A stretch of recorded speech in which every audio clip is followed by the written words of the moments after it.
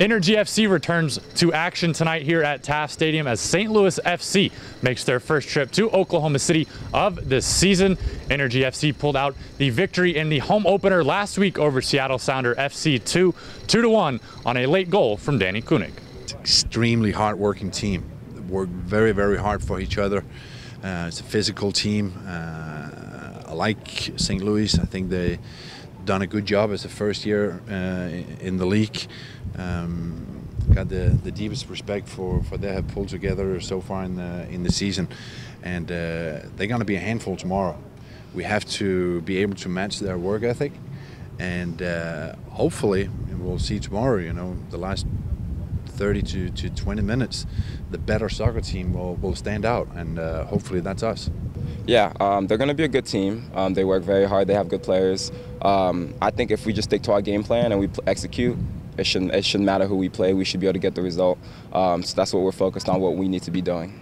The offense has been the story of the season so far for Oklahoma City with Danni König scoring three goals in the last two games, including two late game winners against Colorado Springs and Seattle. But the defense has been the unsung hero so far for Energy FC. Well, um, I, I think as for sure defensively, um, one thing Jimmy's talked about is consistency. Um, you know, obviously not just four people defend, the whole team defends. So I think we've been greedy um, as far as what we give away, um, trying to limit their chances. And obviously we have a great keeper in Evan, and you know if something happens, he'll be able to bail us out. But um, we don't want it to get to that point. So uh, you know, I think defensively we've really stepped up. And you know, if you want to win games, you got to score and you got to defend. And um, I think so far we've done that pretty well. Yeah, we've been good. I think we've all uh, we're starting to get understanding of each other. And um, you know, last game uh, everyone in front of me, you know, the, all the other 10 guys uh, defended well, worked hard defensively, and I think if you do that, um, you know, with our with our talent, we're going to inevitably score at least one or two goals. You know, I think so.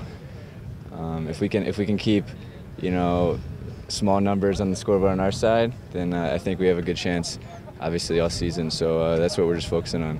Kickoff tonight is at 7 o'clock here at Taft Stadium. You can keep up with the game online on YouTube, watch the game live, or you can keep up on Twitter by following at Energy Game Day. From Taft Stadium in Oklahoma City, Carter Baum, Energy FC TV.